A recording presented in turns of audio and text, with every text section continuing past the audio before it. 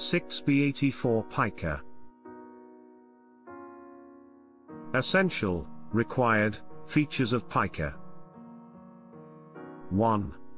Regular consumption of non-nutritive substances, such as non-food objects and materials, for example, clay, soil, chalk, plaster, plastic, metal and paper, or raw food ingredients, for example, large quantities of salt or corn flour. 2. The ingestion of non-nutritive substances is persistent or severe enough to require clinical attention. That is, the behavior causes damage or significant risk to health or impairment in functioning due to the frequency, amount or nature of the substances or objects ingested. Based on age and level of intellectual functioning, the individual would be expected to distinguish between edible and non-edible substances. In typical development, this occurs at approximately 2 years of age. 4. The symptoms or behaviors are not a manifestation of another medical condition, for example, nutritional deficiency. Boundary with normality, threshold. 1. It is normal for infants and very young children to put non-food objects in their mouths as a means of sensory exploration. 2. Many pregnant women crave or eat non-nutritive substances for example, chalk or ice. In addition, the eating of non-nutritive substances is a culturally sanctioned practice among certain groups. Course features 1. Pica can be episodic and variable, or chronic and continuous. When variable, Consumption of non-nutritive substances may be associated with increased levels of stress or anxiety. Developmental presentations 1. Onset of pica can occur across the lifespan but is most commonly observed in childhood. Culture-related features 1.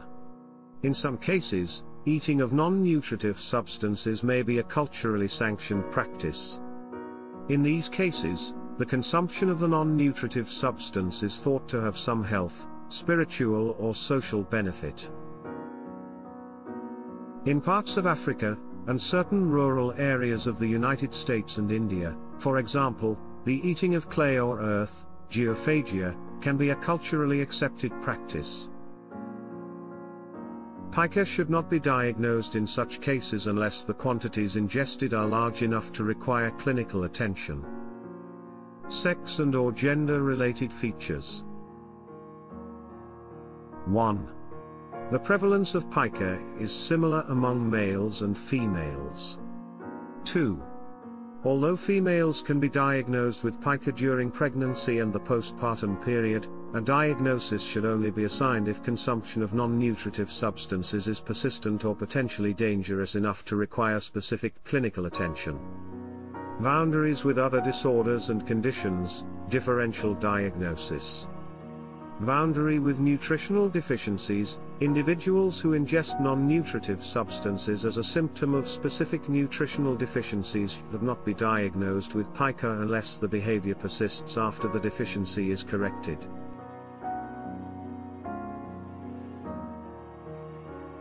For example, anemia caused by vitamin B12, folate, or iron deficiency can be associated with a craving to eat dirt. 2. Boundary with disorders of intellectual development, the ingestion of non-nutritive substances is common in children or adults with disorders of intellectual development. An additional diagnosis of pica may be given, provided that the individual is able to distinguish between edible and non-edible substances, if the behavior is persistent or potentially dangerous enough to require specific clinical attention. 3. Boundary with factitious disorder and malingering, individuals with factitious disorder or who are malingering may swallow harmful substances or objects in order to present themselves as ill. 3. For example, prisoners may swallow harmful substances or objects in order to be transferred to hospital or to a setting that is less harsh or less restrictive. pica should not be diagnosed in such cases. 4. Boundary with other mental, behavioral or neurodevelopmental disorders, individuals with anorexia nervosa may eat non-nutritive substances for example, tissues, paper, in order to suppress hunger. In trichotillomania, hair pulling disorder, or excoriation skin picking disorder, individuals sometimes eat hair or skin that they pull or pick from the body. Eating of non-nutritive substances may also occur in other mental, behavioral or neurodevelopmental disorders such as autism spectrum disorder and schizophrenia. In all such cases, an additional diagnosis of pica should be assigned only if the behavior is persistent or severe enough to require clinical attention. 2. That is, the behavior causes damage to health, impairment in functioning, or significant risk due to the frequency, amount or nature of the substances or objects ingested. 3. 6b85 Rumination regurgitation disorder. Diagnostic requirements of rumination regurgitation disorder. 1. The intentional and repeated bringing up of previously swallowed food back to the mouth, i.e., regurgitation, which may be re-chewed and re-swallowed, i.e., rumination, or may be deliberately spat out, but not as in vomiting.